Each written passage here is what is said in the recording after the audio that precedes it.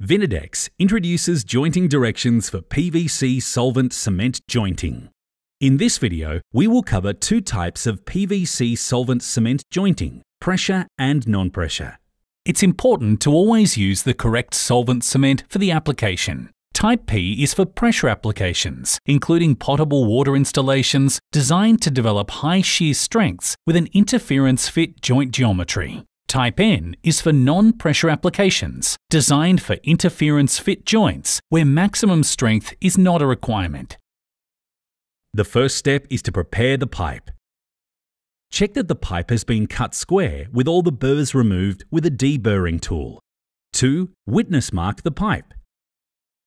Mark the spigot with a witness mark at a distance equal to the internal depth of the socket. 3. Dry fit the joint.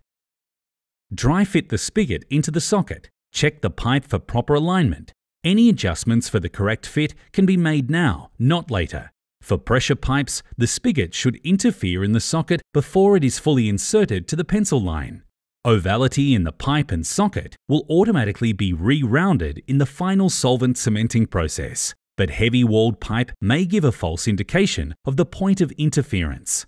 Do not attempt to make a pressure pipe joint that does not have an interference fit. Contact Vinidex if this occurs. 4. Prepare with priming fluid. Dry, degrease and prime the spigot and socket with a lint-free cloth dampened with Vinidex priming fluid using gloves. 5. Brush selection. The brush should be large enough to apply the solvent cement to the joint in a maximum of 30 seconds.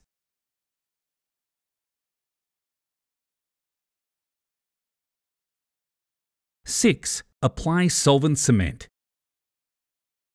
Apply a thin, even coat of solvent cement inside the socket first, then apply a heavier, even coat up to the witness mark on the spigot.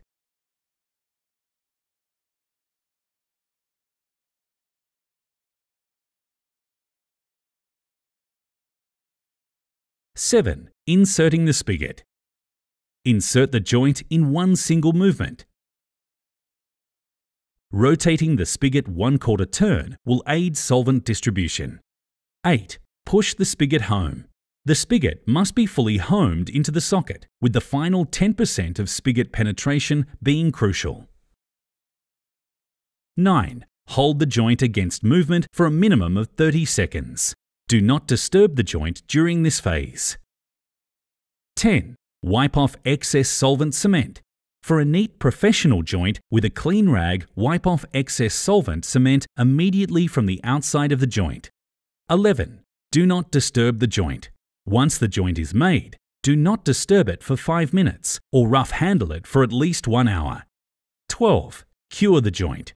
Joints cure faster when the humidity is low and the temperature is high please consider your health and safety by always using correct PPE gear to protect your skin and eyes. Solvent cements are toxic and have highly flammable vapors, so don't work in unventilated or confined spaces and keep away from naked flames, sparks, and hot surfaces. For more information, please refer to the Vinidex Quick Installation Guide Solvent Cement Jointing for PVC or contact Vinidex.